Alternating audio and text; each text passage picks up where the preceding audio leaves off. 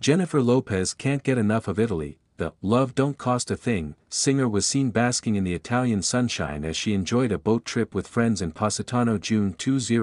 In one snap, Jennifer showed off her toned arms and shapely legs in a white, one-piece swimsuit and peep-toe kitten heels. To top off the ensemble, she accessorized with sunglasses and plenty of gold jewelry and Jennifer was clearly in a great mood for the outing.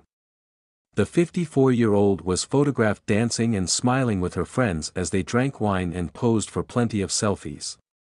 At one point, J. Lo even took a moment to snap a pic of her derriere, not pictured soaking up the sun was the Atlas star's husband Ben Affleck.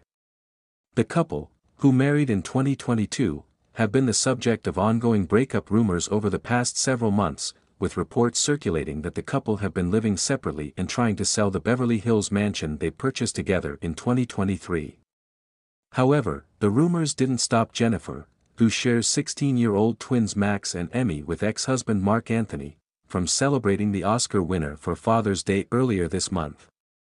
Our hero, she wrote on Instagram stories June 16, alongside a photo of Ben from 2001's Pearl Harbor. Happy Father's Day. Meanwhile, Ben, who is dad to Violet, 18, Serafina, 15, and Samuel, 12, with ex-Jennifer Garner, recently got very candid about what it's like being married to someone with J. Lo's star power. She's so famous and people love her, he shared during the June 20th premiere of Peacock's Hart to Heart. She really represents something important to people. People are like, ah. J. Lo, it's amazing. The Air actor even recalled one of their more intense fan encounters, which occurred in the couple and their children hit traffic in Times Square on their way to a show in New York City. We had to get out of the car, Ben explained, I was like, fuck it, baby, we're gonna be late. We gotta walk a block and a half. She was like, alright. She didn't say a st. I was like, we gotta go, we gotta walk.